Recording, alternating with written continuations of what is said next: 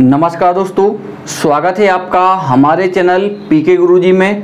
आज के अपने इस वीडियो में हम एक मैथ का प्रश्न डिस्कस करने वाले हैं। तो जिस प्रश्न को हम डिस्कस करने वाले हैं, उस प्रश्न को सबसे पहले देख लेते हैं।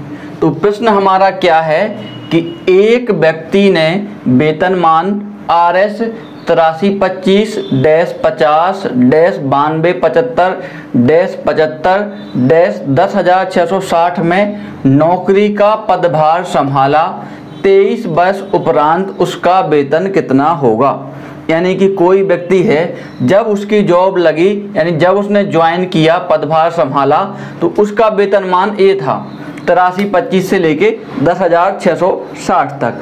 अब उसने हमसे पूछा है कि अगर उसको नौकरी करते करते तेईस साल हो गए हैं तो अब उसका वेतन कितना होगा? यह हमें बताना है।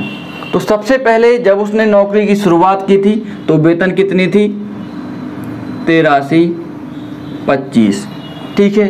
अब उसमें हर साल कितने की वृद्धि होना है? पचास पचास की वृद्धि होना है। कब तक? जब तक उसका वेतन नौ हज़ार दो सौ पचहत्तर ना हो जाए। ठीक है?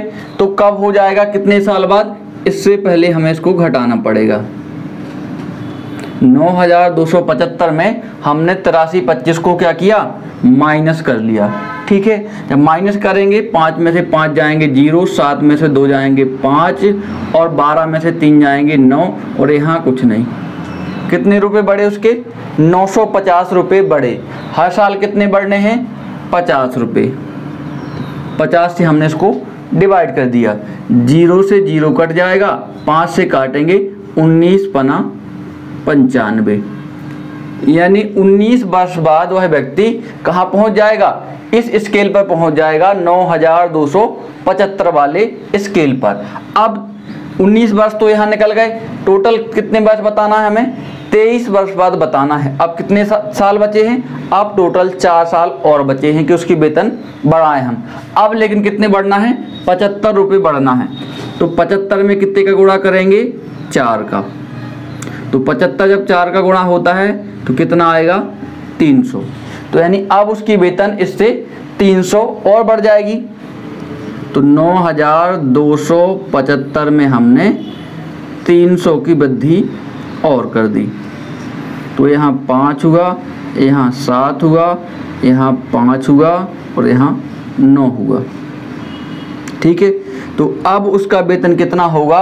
अब उसका वेतन होगा नौ हज़ार पाँच सौ पचहत्तर रुपये। ठीक है? तेईस वर्ष बाद उसका उपरांत कितना वेतन है? नौ हज़ार पाँच सौ पचहत्तर रुपये। और ऐसे ही नॉलेज बढ़ाने वाले वीडियो देखने के लिए जुड़े रहिए आपके अपने चैनल पीके गुरुजी के साथ नमस्कार।